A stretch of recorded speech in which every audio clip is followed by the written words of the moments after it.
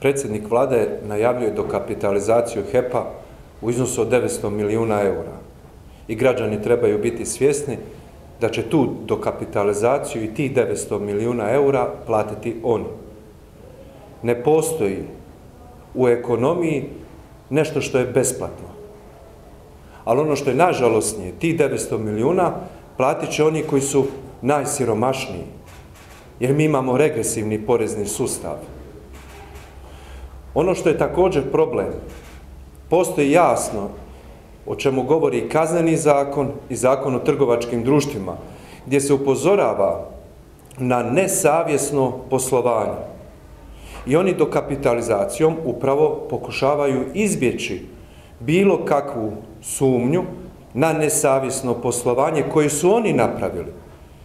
I oni će u konačnici napraviti to da će cijelu dokapitalizaciju zbog svoje nesposobnosti platiti na kraju građani.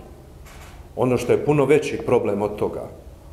Oni zbog svoje nesposobnosti idu do kapitalizaciju koju treba odobriti Europska komisija. Što ako Europska komisija ne odobri dokapitalizaciju?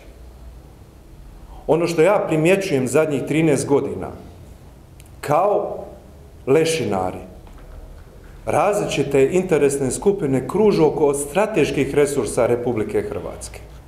Sjetite se pokušaja privatizacije Hrvatskih voda 2011. Pa nakon toga pokušaja privatizacije autocesta. Pa nakon toga govora o privatizaciji šuma.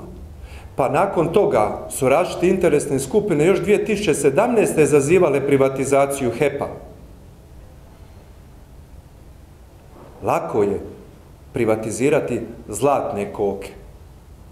Neka budu uspješni menadžeri, pa neka privatiziraju državnu tvrtku gubitaša, ako su toliko uspješni.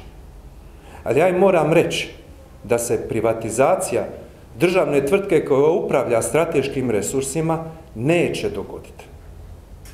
Dakle, nama nije problem napraviti neke druge poteze da taj dio zaštitimo. Jer ako izgubite državnu tvrtku koja upravlja strateškim resursima, šuma, voda, energetike i infrastrukture, vi više nemate mehanizme za, za zaštititi svoje građane i za upravljati tom državom u idućem razdoblju.